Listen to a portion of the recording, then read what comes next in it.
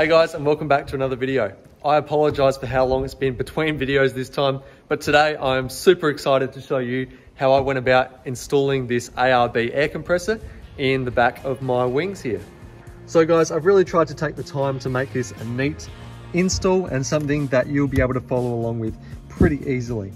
So, um, you know, just using stuff that I had around the shed that wasn't any specialty tools or anything like that. Um, I've gone and made a, you know, pretty neat piece of ply to mount this to. That's all pretty sturdy. Um, and we've recessed our air valve into the wings because as I'm sure you'll know, um, if we had this out here on the wing, it'd hit the tailgate and the tailgate wouldn't shut. So I've tried to make this um, pretty simple and um, you know looking pretty good for you guys today. So I hope you enjoy.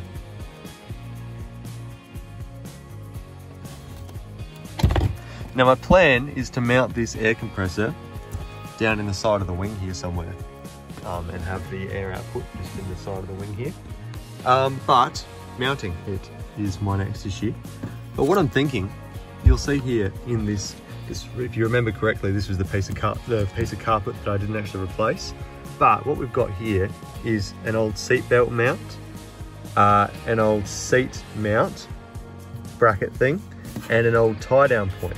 So they should all have screw holes, bolt holes underneath. So we can cut away at that underlay, might be able to get a nice piece of ply to fit in here, and we can go and mount it down here, and then we'll be able to mount that compressor on top of the piece of ply.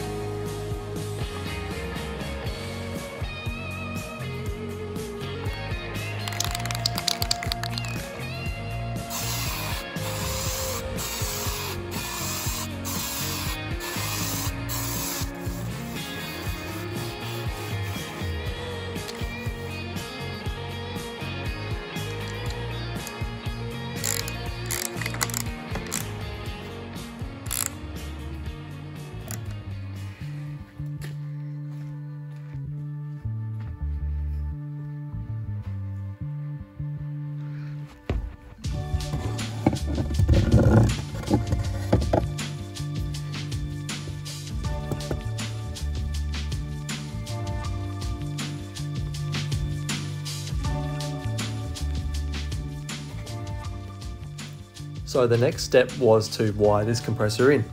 I had already run these heavy cables from the engine bay back to the rear wing in preparation for this when I recarpeted my cruiser. So I just tapped into the loom and soldered them in. I need to find a good place to mount this fuse um, that's going to be accessible in the engine bay.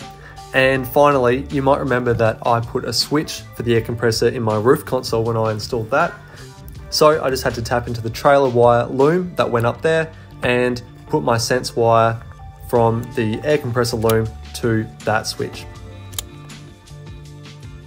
All right guys, so here is the verdict. I've got the air compressor in here uh, mounted. I've got the positive and negative run back. Um, I've got the pressure switch on. I've just got to connect um, the power to the motor, which I'll do after I put the battery terminals on. Our relay mounted down there.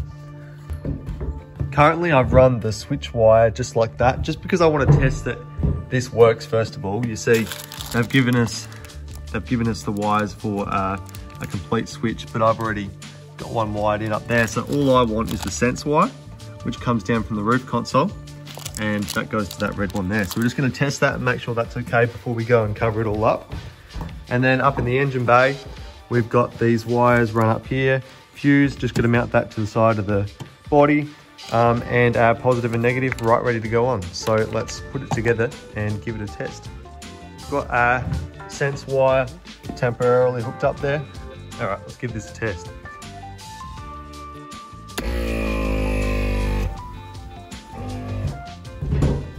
I'll have a listen. Okay, so I need to tighten up some fittings, but apart from that,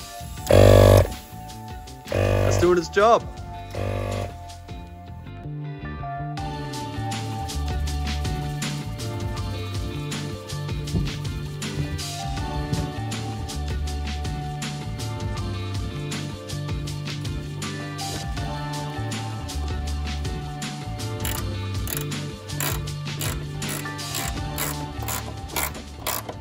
So the next problem that I had was that I needed to recess this air valve because if I didn't, it would actually hit the tailgate and interfere with the closing of the tailgate um, and we'd run into a problem. So um, let's have a look at how we did that. You can see here that the problem is if I had this sitting up with the level with the drawers, it'd clash with the tailgate when it was closed. So I'm gonna have to um, offset that inwards a little bit so that it's not sticking out quite as far. Dad and I decided that the base of this water bottle, this stainless steel water bottle, would actually work perfectly to mount that air valve in and recess it into the back of the wing.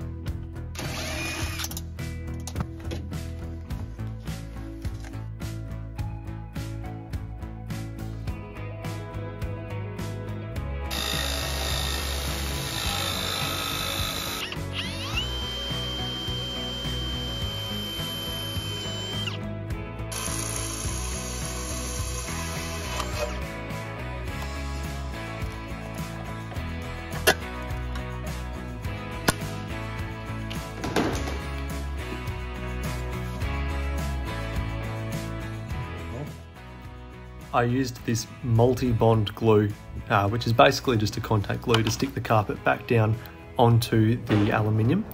Um, I just picked this up from my local supermarket. And once that was tacky and I could put the carpet down, the base of a heat gun in that hole just to push the carpet to the inside of that water bottle there. And once that was dry, I could take it out and it was all stuck down nicely.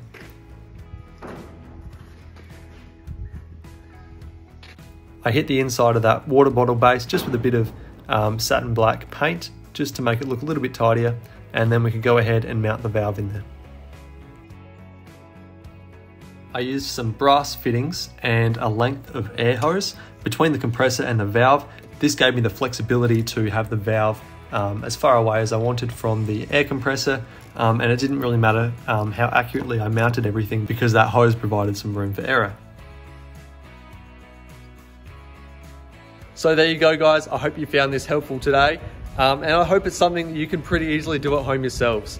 If you have any questions about how I put this together, please don't hesitate to uh, leave a comment down below or message me on social media or find my email. Some people do that and it's, it's easy to get back um, really quickly and hopefully answer your questions. So, you know, if you haven't, please remember to subscribe and show your support for this channel. It really means a lot.